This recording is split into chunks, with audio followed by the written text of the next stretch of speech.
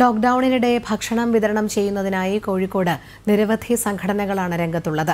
ഭക്ഷണം പാചകം ചെയ്തു നൽകുന്ന ഫോർ ലൈഫ് ചാരിറ്റബിൾ ട്രസ്റ്റും കോട്ടപ്പറമ്പ് ആശുപത്രിക്ക് മുന്നിൽ ഭക്ഷണം നൽകുന്ന സന്നദ്ധ സംഘടനകളുമൊക്കെ മനുഷ്യത്വത്തിന്റെ ചെറിയ കണ്ണികൾ മാത്രം.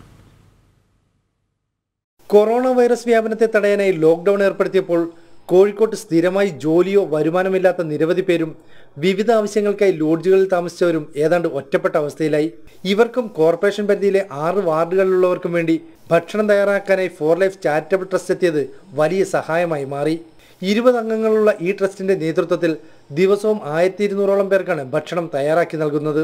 കോവിഡ് നയന്റീന്റെ ഭാഗമായിട്ട് എല്ലാവരും പ്രയാസപ്പെടുന്നവർ തന്നെയാണ്.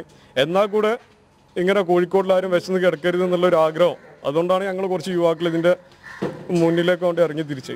അറുന്നൂ ആറോളം വാർഡുകളിലെ അറുന്നൂറോളം കുടു അറുന്നൂറോളം കുടുംബങ്ങൾക്ക് ഫോർ ലൈഫ് ചാരിറ്റബിൾ ട്രസ്റ്റ് കോർപ്പറേഷന്റെ ആഭിമുഖ്യത്തിൽ ആർ ആർ ടിക്ക് കൈമാറാണ്.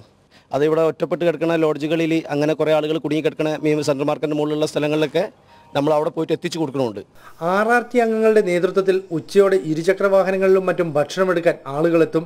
ലോക്ക്ഡൌൺ എത്ര കാലത്തേക്ക് നീട്ടിയാലും അതുവരെ ഭക്ഷണ വിതരണവുമായി മുന്നോട്ട് പോകാനാണ് ഫോർ ലൈഫ് ചാരിറ്റബിൾ ട്രസ്റ്റിന്റെ നീക്കം.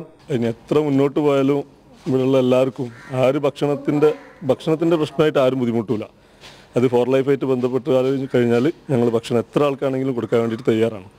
എത്ര കാലാണെങ്കിലും ഞങ്ങൾ കൊടുക്കാൻ വേണ്ടിയിട്ട് തയ്യാറാണ്. പാളയം കോട്ടപ്പറമ്പ് ആശുപത്രിക്ക് മുന്നിൽ സ്നേഹതീരം ഹ്യൂമാനിറ്റി ഫസ്റ്റ് അൽഹിന്ദ് തുടങ്ങിയ ട്രസ്റ്റുകളും സൗജന്യമായി ഭക്ഷണം വിതരണം ചെയ്യുന്നുണ്ട്. നഗരത്തിലുള്ളവരടക്കം ആരും പട്ടിണി കിടക്കരുതെന്ന ഇവരുടെ ലക്ഷ്യം സാധാരണക്കാർക്ക് വലിയൊരു അനുഗ്രഹം തന്നെയാണ്. ജനം കോഴിക്കോട്.